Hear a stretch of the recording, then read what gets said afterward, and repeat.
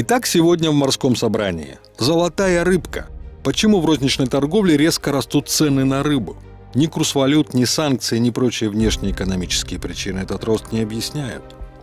Извечная дилемма мореплавателей – избежать крушения и спастись, если корабль тонет неизбежно.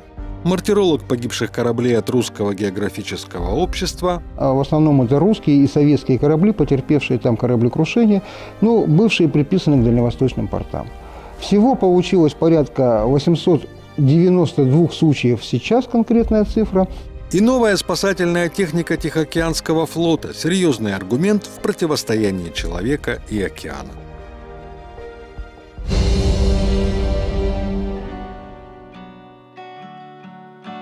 Вопрос недели. Он имеет отношение не столько к морю, сколько к нашей обычной жизни на суше.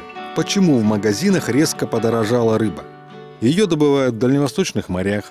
Ментаева и сельдевая путины, что ведутся сейчас, ни от каких внешних причин не зависят. Курсы валют могут влиять только на экспортно-импортные цены, но вдруг взлетают розничные. И где? В Приморском крае, рыбаки которого добывают 700-800 тысяч тонн ежегодно, что в 10 раз превышает потребности жителей Приморья. Вопрос начали задавать власти, причем и в Москве, и во Владивостоке одновременно – Тональность вопроса даже более высокая, чем у простого покупателя. Рыбная отрасль имеет государственную поддержку в виде различных многолетних программ, и вот результат. Напомним хронологию этого вопроса. 31 января в программе «Ответы» на общественном телевидении Приморья в разговоре с ведущим Евгением Подтергера тему поднимает губернатор Миклушевский. Причем поднимает ее несколько не в формате программы. Это не он дает ответ, а его самого волнует вопрос. У нас есть государственные программы, и у нас состоялся уже, так сказать, такой достаточно нелицеприятный разговор значит, э, с нашими кураторами рыбной отрасли, э, мы сейчас внимательно посмотрим все программы сельского хозяйства, угу. потому что государство, и федеральное правительство, и значит, э, администрация Промского края выделяет довольно большие деньги на поддержку этих отраслей. Угу. Вопрос, а что рыб-то растет на 28%? Меня это совершенно ну, не да. устраивает, понимаете? Если у нас есть поддержка этой отрасли, значит, э, мы должны соответствующими мерами экономического воздействия делать так, чтобы рыба, ну, если, может, она, конечно, и будет дорожать, так уж э, жизнь у нас устроена, но хоть не, на, не такие э, вещи, потому что никто же не понимает. Мы живем у моря, у океана, значит, и угу. каждая и рыба, так сказать, нас дороже, чем там где-то в Москве, например. Это абсолютно недопустимо. Поэтому задача такая поставлена, и, значит, курирующий вице-губернатор Сидоренко будет ее решать. Уже на следующий день, 1 февраля, собрался краевой штаб по оперативному мониторингу и реагированию на изменения конъюнктуры рынков сельскохозяйственной продукции, сырья и продовольствия. Выясняется, что холодильники в порту рыбой забиты. Оптовые цены хоть и не низкие, но приемлемые а торговые надбавки в сетях составляют от 20 до 45%. Штаб намерен применить меры госрегулирования, чтобы хоть как-то сократить цепочки посредников. Однако как применить эти меры, пока власти не говорят, и, видимо, неспроста, потому что такая ситуация с рыбой по всей стране – Приведем две цитаты из эфира московской радиостанции Вести ФМ, который тоже звучал в эти же дни, когда вопрос о цене на рыбу озаботил руководителей Приморья. И вряд ли можно считать это совпадением. Понятно, что у всех игроков рынка свои есть оправдания и обоснования, почему цена на рыбу такая высокая. Э, иногда это претензии предъявляют к рыбакам.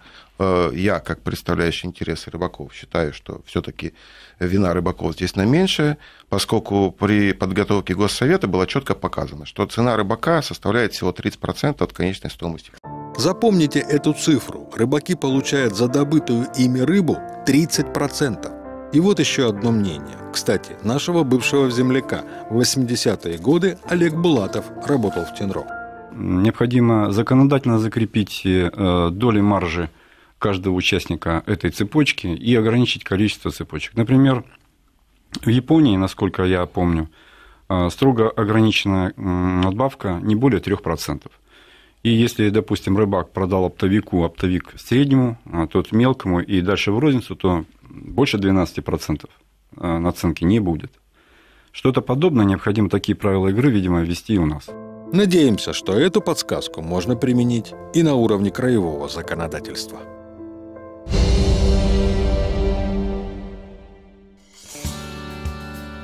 Уникальное исследование завершил Юрий Ведерников, член общества изучения Амурского края Приморского филиала Русского географического общества. Книга под названием «Российское мореплавание на Тихом океане. Хроника судоходства и кораблекрушений» еще не издана. Но это, пожалуй, первый труд, который систематизирует всю историю трагического противостояния людей и моря на дальневосточных рубежах России. Сам автор говорит, что работал над этой книгой почти 30 лет, но море и архивы, особенно военные, хранят столько тайн, что на стопроцентный охват всех произошедших крушений он никак не претендует. В хронологическом порядке описано 892 случая гибели кораблей, рыбацких, пассажирских, транспортных судов. Карты, которые раскладывает Ведерников, поражают частотой и количеством гибели кораблей. Вот акватория залива Петра Великого. Фактически это в черте города Владивостока. Многие корабли погибли на таких глубинах, откуда их поднять уже не смогли. Другие так и остаются в списках необнаруженных, хотя в архивах есть все данные о координатах, об обстоятельствах, были спасшиеся свидетели. Вот, к примеру, поиск номерного миноносца 208, который подорвался на японской мине в 1904 году, затонул недалеко от нынешнего моста на остров Русский, но найти его не могли больше ста лет. Первые документы из архива я получил в 1986 году. Потом был естественный всплеск интереса к этому объекту, и его достаточно активно искали и, скажем так, э, дайверы или поисковики, и легкоаквалангисты, как раньше говорили, Владивостокского спортивного клуба ДСА, 178-го завода, э, подтягивались товарищи, скажем так, из Славянки. Итог был нулевой, ничего не нашли. Потом пошел естественный провал 90-х годов, и с начала 2000-х годов поиском занялся Роман Фадеев. Ему повезло, он его обнаружил в 2011 году. При находке 208-го миноносца было принято решение не трогать его, оставить в том состоянии, в котором он есть. Было поднято несколько артефактов. Основная задача – это идентификация объекта, посмотреть, что это то, что надо. Вот. И иная вторая задача – это маленькая экспозиция. Экспозиция в настоящее время находится на батарее, на Ворошиловской батарее, отдельно, отдельно, скажем так, стендами стоит. А перед нами это просто э, ну, реликвии, не реликвии, скажем так, элементы ушедшей эпохи. То есть вот этот стандартный винтовочный патрон э, от знаменитой трехлинейки – вот. Исполнен он был, я полагаю, в конце 19 века, 100 лет, 107 лет, если быть точным, пролежал под водой. А вот будет ли издана эта книга увлеченного человека, пока неизвестно. Меценатов Ведерников не ищет, но хотел бы напечатать несколько десятков экземпляров, чтобы оставить этот мартиролог в библиотеках морских вузов, кадетском и военных училищах.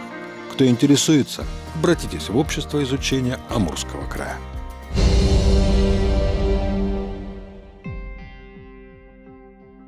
Ну и в конце хорошая новость Тихоокеанского флота, которая ложится в тему с книгой Юрия Ведерникова. Глубоководный поисково-спасательный аппарат «Бестер-1» после испытаний доставлен самолетом военно-транспортной авиации Санкт-Петербурга на Тихоокеанский флот и включен в состав службы поисковых и аварийно-спасательных работ флота. Заводские испытания проходили на Балтике, роль потерпевшая играла дизельная подлодка класса «Варшавянка».